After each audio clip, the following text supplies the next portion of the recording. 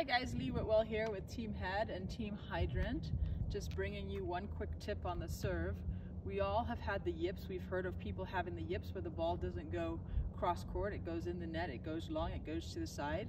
And here's just a real quick fix to help to help you through it and solve the problem if you ever get the yips. When you when you're when you're serving, your thumb is in front of the handle of the paddle, right?